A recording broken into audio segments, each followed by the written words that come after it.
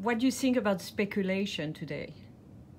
I, I, what do I think? I think the galleries wish speculation would come back because right now they're not selling anything. So they've gotten what they wish for an art world with no speculation.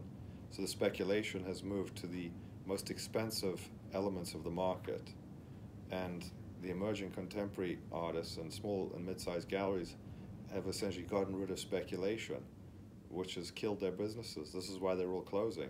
Speculation is a healthy component of any system of economic transaction and human interaction, of which art is one of them. You need speculation for there to have a market in anything.